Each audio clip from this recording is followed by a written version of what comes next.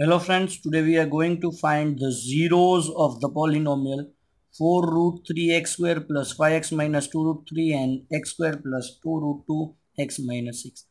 Actually, I had selected this question because generally all students are having doubt when root or irrational numbers are there in this type of questions.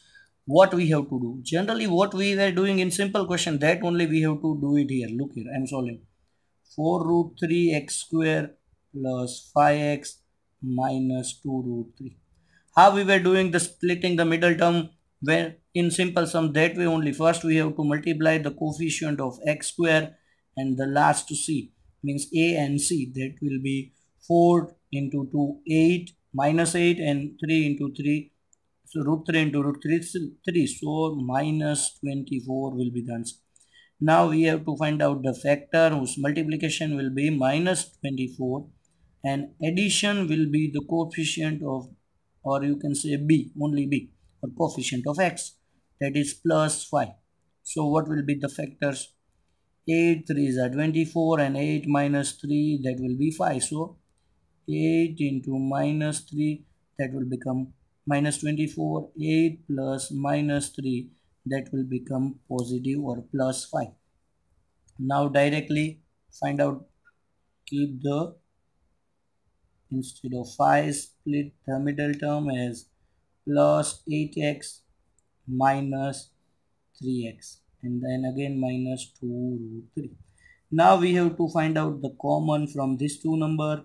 It's so simple 4 and it's 4 to the so 4 and again x also common so root 3 x plus and here will be 2. Now take out common from these two numbers. Minus is there so first we will take out minus because we want to convert this plus is was here so here also we want plus. But here it's 3 and root 3. So the factors of 3 is actually root 3 into root 3 and here also one root 3 is there. So you can take out root 3 also common. Now from this 1 root 3 is gone so 1 root 3 will be remaining and x and then this minus we had taken out common so plus 2 now you can see both the factors are same. Root 3x plus 2 and the other is 4x minus root 3 now these two are the factors. We want 0 so equal to 0 so here root 3x plus 2 is equal to 0 so root 3x is equal to minus 2, x is equal to minus 2 by root 3. This will be your first 0 and here this will be 4x minus root 3 is equal to 0. 4x is equal to root 3 and x is equal to root 3 by 4. So these are the two 0. Now for this sum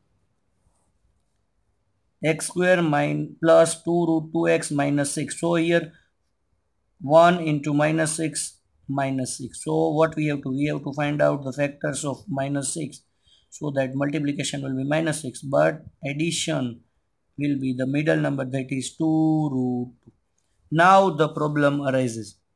Now we have to find out the factors of 6 first we know factors of 6 will be 3 and 2 3 multiply with 2 but we want 2 root 2 so root 2 is there. So again we have to find out the factors of root 2. That will be root 2 into root 2 and these 3. Now you can add or subtract. How? 3 into root 2 means you can make one pair of this and now plus 3 into root 2 means 3 root 2 and minus root 2. Yes. 3 into root 2 multiply with minus root 2 what will happen?